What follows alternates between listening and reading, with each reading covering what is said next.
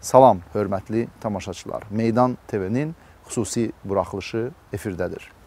Bildiyiniz kimi Azərbaycan telekanalları Avropanın süquta doğru getməsini bütün günü bizə söyləyir. Avropanın böyük maliyyə böhranı içində batmasını dinləyicilərinə bütün günü çatdırır. Amma maraqlıdır, niyə görə Azərbaycan məmurları, nazirləri, yüksək vəzifəli şəxslər yüz milyonlarla pulları məhz Avropadakı daşınmaz əmlak bazarına qoyurlar. Belə şəxslərdən biri İsmət Abbasov və onun ailə üzvləridir.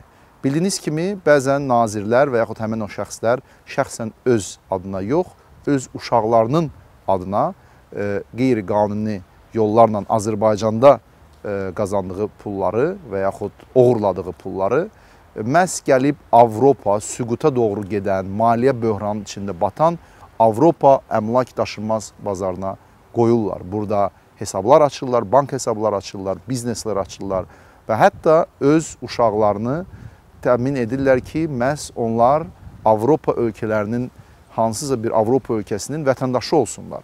Belə şəxslərdən biri İsmət Abbasovdur və onun oğlu Yunis Abbasovdur.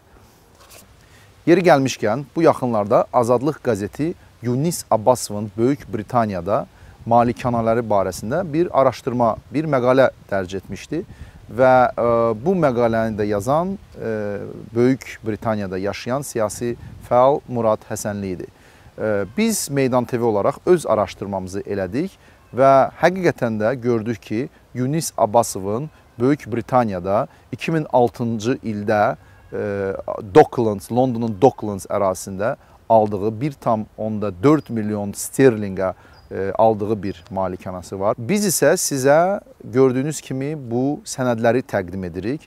Bundan əlavə onun 2012-ci e, ildə aldığı e, Kingston upon Thames ərazisində daha bir malikanəsi var. Ona o hardasa 5 milyon fund sterling investisiya qoyub yatırıb. Bundan əlavə isə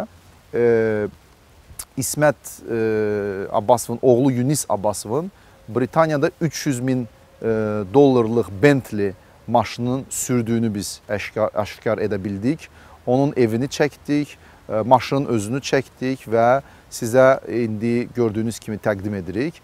Maraqlı fakt ondan ibarətdir ki, Yunis Abbasov Kənd Təsərrüfatı Nazirinin oğlu Britaniya vətəndaşıdır və Azərbaycan telekanalları bütün günü Avropanın, e, batmasından, Avropada maliyyə böhranı haqqında danışdığı an bizim nazirlər həmən o Avropa ölkələrinin vətəndaşlıqlarını qəbul edirlər, ora pullar yatırırlar, Azərbaycan vergi sistemindən bu pulları gizlədirlər e, və sonda e, demək olar ki, həmən o batan Avropaya köçürlər.